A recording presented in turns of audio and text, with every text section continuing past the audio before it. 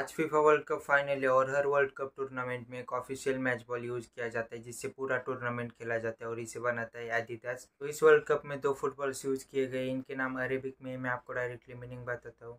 जो पहला फुटबॉल है, उसके नाम का मीनिंग है द जर्नी और ये जो फुटबॉल है, ये लीग स्टेज के जो मैचेस है, उनके लिए यूज़ किया गया है। दूसरा जो फुटबॉल है, उसके नाम का मीनिंग है द ड्रीम और ये जो फुटबॉल है, ये सेमीफाइनल और फाइनल खेलने के लिए बनाया गया है। इसका जो कलर है, वो अलग है, यानी इसमें आपको गोल्ड मेटेलिक और रेड डिज़ाइन मिलता है। जो गोल्ड कलर है, वो रिप्रेजेंट करता है वर्ल्ड कप फाइनल स्टेडियम को और जो रेड कलर है, वो कतर के नेशनल फ्लैग को रिप्रेजेंट करता है। इन दोनों बॉल्स की रीयूजिबिलिटी को दिखाने के लिए फीफा और कतर एयरवेज ने स्पेसएक्स के साथ पार्टनरशिप करके और स्टारलिंग के बॉक्स में इन दोनों बॉल्स को रखकर फॉल्कॉन नाइन रॉकेट को फ़र्स्ट स्टेज तक ले जाने वाला जो बूस्टर है, उसमें इस बॉक्स को रखकर फ़र्स्ट स्टेज तक उड़ाया। और जो बूस्टर का स्ट्रेस उसमें बॉल्स को सर्वाइव करा के और फिर ड्रोन शिप पर इस बूस्टर को लैंड करा के उसके बाद इन बॉल्स को बाहर निकाल के कतर एयरवेज से कतर ले गया गया वर्ल्ड कप के लिए। ये पहला वर्ल्ड कप मैच बॉल है, जिसको एनवायरमेंट फ्रेंडली इंक और एडिसिव से बनाया गया है। तो बस आज के इस वीडियो में इतना ही, तब तक के लिए धन्यवाद।